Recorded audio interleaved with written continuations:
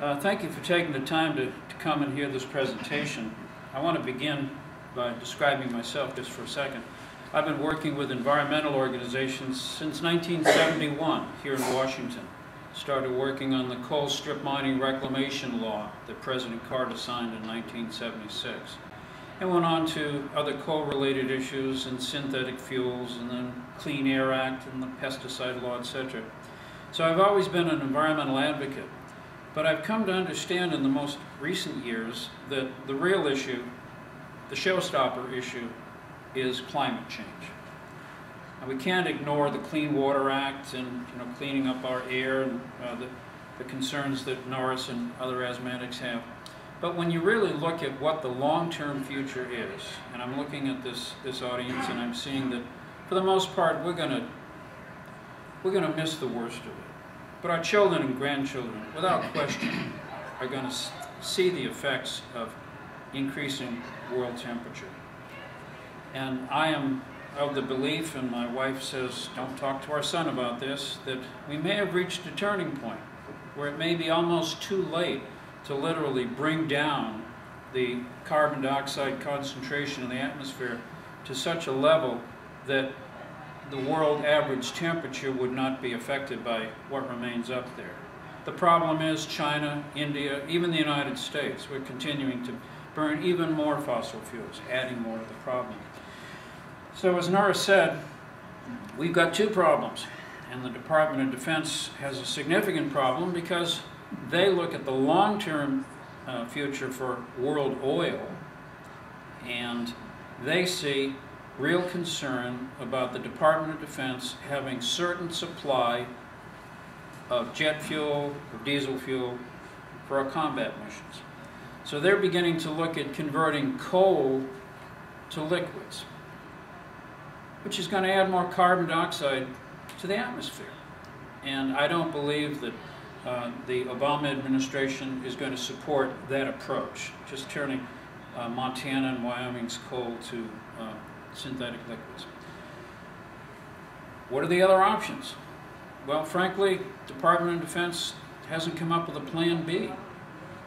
And we think that this approach, which is not something that we devised, it's something that we borrowed from General Atomics in California, uh, Argonne Labs, um, Oak Ridge National Labs, have all been doing a lot of work on aspects of what this paper entails.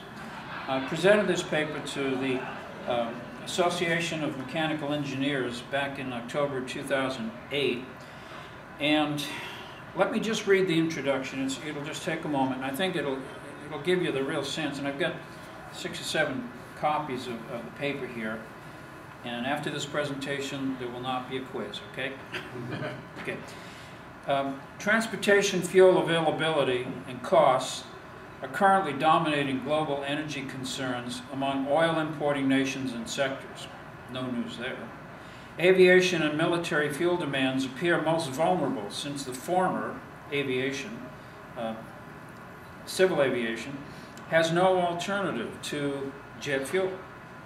And the latter, the Department of Defense, that invokes national security prerogatives the Department of Defense must have access to all the fuel that it needs. The Department of Defense appears intent on encouraging private sector investment in production of synthetic fuels from coal and oil shale as secure domestic sources of aviation fuel and possibly the single fuel it will use for the entire battle fleet. One of the more expensive parts of fighting a war is getting water, food, and fuel out to the front lines. And it's not just diesel fuel, it, it's a great variety of fuels, which have to come from all markets and have to be brought into ports and kept separated in separate tanks and whatever.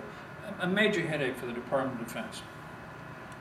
However, in international concern about increasing concentrations of climate-forcing atmospheric gases may soon impose severe economic penalties on CO2 emissions if negotiating treaties requiring their reduction are enforced.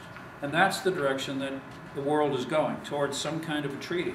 It may not be um, in the next five or six years, but we will have to, in, all the nations of the world will have to hold hands and begin to work together to reduce the amount of carbon dioxide we're putting into the atmosphere.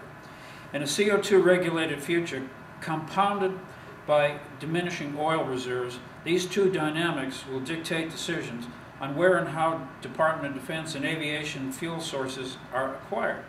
This paper uses that future as a backdrop to propose a complex and advanced alternative to conventional petroleum that might appear impractical today but could transform pollution into profits, secure a future for coal in the electric power sector, and satisfy domestic demand for diesel and aviation fuels. Proposal that, that we have here is not 2010 ready. It's probably 2020 on the verge of demonstration. And maybe by 2025 there could actually be a um, beginning of an industry to use carbon dioxide as a fuel feedstock. John, before you get started, before you started, I just want to um, ask the audience, does this sound crazy? Does it make sense to you? Yes. I just want to know, is there any other, I guess, companies or anything that are actually like putting this in motion? Like, you know, just to kind of get a visual of like how this is actually working? Or is it still just still in the experimental research component where you're trying to put out all this stuff Good. There, there are several components to this. The very back end, creating the fuel itself, Okay, that's South Africa's Sasol. They're, they're turning coal into diesel fuel, the Fischer-Tropsch process. Nuclear power that would create the heat to split water, we have that. We don't have the highest uh, efficiency and, and highest temperature reactors, but even China is working on high temperature reactors. That, that would be another component. And let me follow up with that, John. I've met with Sasol um, on this, and I've described it to Sasol. Sasol also happens to be the single largest source, point source, of carbon dioxide emissions in the world. And that's because they already convert coal into liquids. So this is a process where we are trying to encourage them to maybe explore something like this, and you might have a better chance than just trying to. They want to bring their technology to the United States, but there's no way it's going to happen with that kind of carbon dioxide signature. I've also um, um, toured a, what's called the Pebble Bed Modular Reactor. It's 40 miles northwest of Beijing, and that's a high temperature modular reactor that can be used. I won't get into how that works, but it's a whole new type of reactor. So actually, it's us trying to get this going. We have to, it's probably going to take congressional legislation, I'm sure. You're going to have to get buy-in from the Defense Department, and those are the challenges we're looking at, two guys. Um, but we tried to solve all of the problems, and we're convinced that we have solved them. But I got up to ask you, does it sound crazy? Oh, we know the cost is interesting, but does the concept make sense? Let's find out. Okay.